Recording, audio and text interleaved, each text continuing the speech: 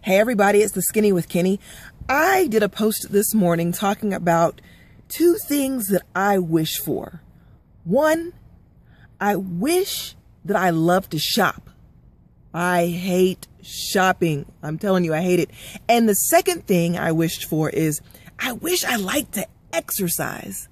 I was even a collegiate athlete and I just hate exercise. I don't know what it is about running and sweating and all of that kind of stuff. It's crazy, right? So I just wanted to come and talk to you today about what do you wish for? What are your wishes? What are your dreams?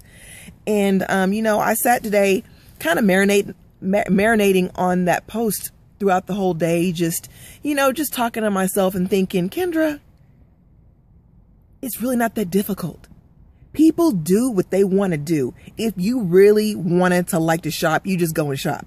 If you really wanted to like to exercise, get your butt up and exercise. But no, I would rather just go home, chill at the house with my puppies and my husband and watch TV.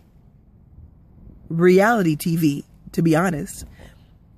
So I just wanted to kind of come to you with, well, what are your dreams? Are you making excuses for not getting your dreams, your wishes? I know I am. First, so the first step is to acknowledge it. And I'm acknowledging it. I'm saying out loud. I'm telling it to you. It takes determination and it takes discipline. Yeah, I said those two cuss words determination and discipline. Oh my gosh, I felt like I was beating myself up today because I realized in those areas, I just don't have discipline. I just don't have enough determination. So let's just say your wish is, you know what? Man, I wish I could lose weight. I've been trying. I just wish I could lose weight. Or you're saying, I wish I could make more money. I'm just not making enough money. Well, are you doing everything in your power to be able to lose that weight? Are you doing everything in your power to make more money? Seriously, are you? Ask yourself, stop, pause this video and think about it. Are you determined? Are you disciplined enough to make those wishes and dreams come true? Okay. So let's say you are and the opportunity hasn't come across your uh your your Facebook feed yet. Well, I have good news. Today is your day because I am looking for people to join my team to one, help lose weight, and two, to be able to make more money.